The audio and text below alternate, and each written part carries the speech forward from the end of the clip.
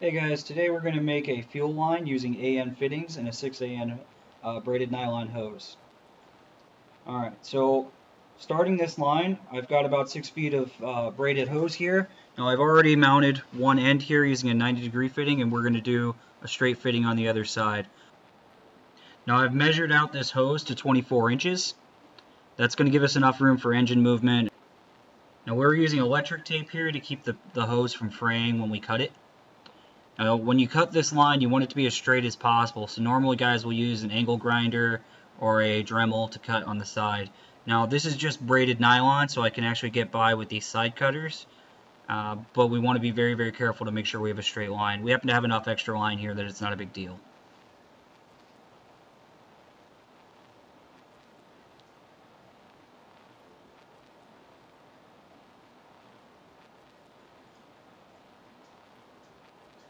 Alright, and we're just taking the scissors here and we're going to make one clean, clean, clean cut across.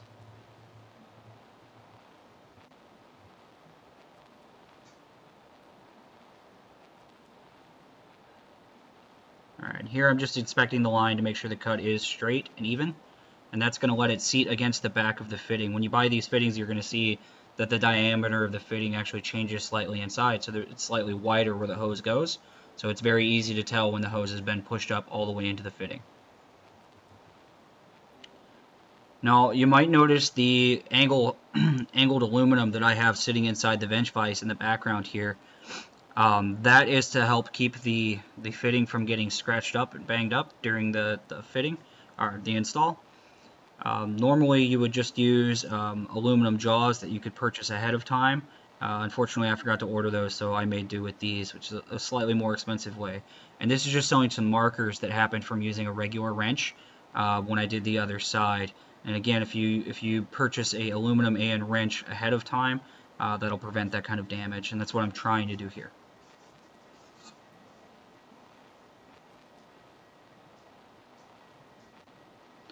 Now these fittings are two pieces.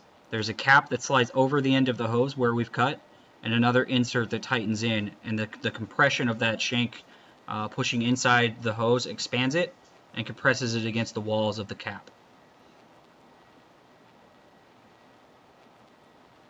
Alright, so you start by sliding the cap onto the existing hose and in a second here I'm actually going to put that into the vise uh, but first you're going to see me drop it. There we go. Alright, and now I've, I've had a camera guy pick it back up and I'm attempting to push it in by hand, but it's really going to be easier just to put it in the vise.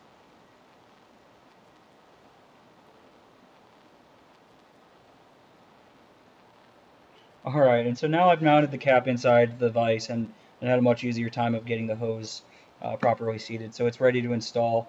And I've cut some more angle brackets here uh, to put around my crescent wrench to try to, again, to avoid scratching the AN fittings, but that ended up being mostly a waste of time. I really, really recommend just ordering the right wrench and the right vice grips uh, ahead of time.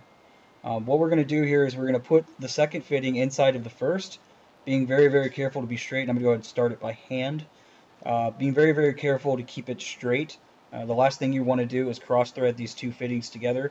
Uh, when that happens, you can end up breaking the AN fitting and then you, you have to replace it. And these are about 5 or $6 a piece, so that can get expensive pretty fast.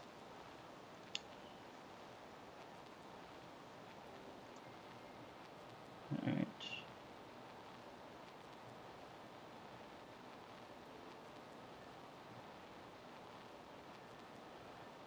Alright, again, we're being very careful to keep it straight.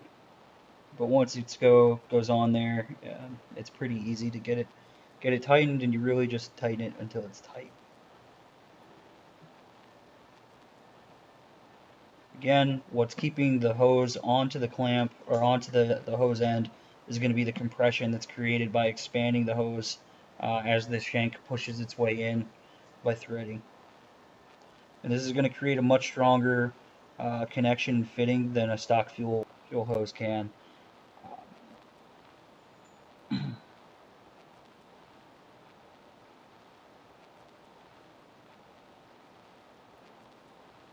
Again, here I'm messing around trying to get those aluminum ends onto the crescent wrench, which is mostly a waste of time.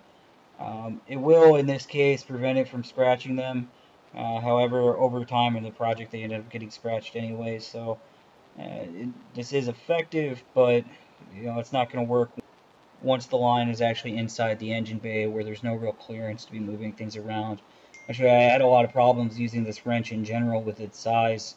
Um, once it's once it's up against the firewall, uh, you really don't have much room to move around, and so it took uh, quite a bit of doing just to try to get everything uh, buttoned down tight so that the fuel wouldn't leak once it's all installed. Uh, again, a smaller AN wrench is going to take care of that problem for you.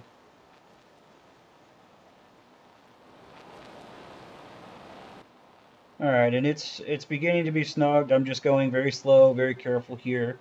Again, I don't want to break the fitting and be out, you know, five or six dollars in a couple days to have a new one shipped to me. Um, and again, I got these fittings on Amazon, but you can also get them through Summit. Uh, Jegs carries them. Quite a few of the local performance shops or uh, online performance shops will carry them as well. I think you can buy some of them at Napa, uh, but since I already have an Amazon Prime account, I order a lot of my parts through there. Alright, and so now the fitting is tight enough and I'm just inspecting it here, uh, taking a look, and you can see some of the scratches that showed up. Uh, that side's not too bad, but the other side where I used uh, just the crescent wrench with a shop towel around it to try to keep it from scratching up too much was really not useful at all. Alright guys, and that's that's really it. Uh, it doesn't take much more than that as long as you use the right tools from the beginning. Um, enjoy, I hope you learned something. Uh, have fun.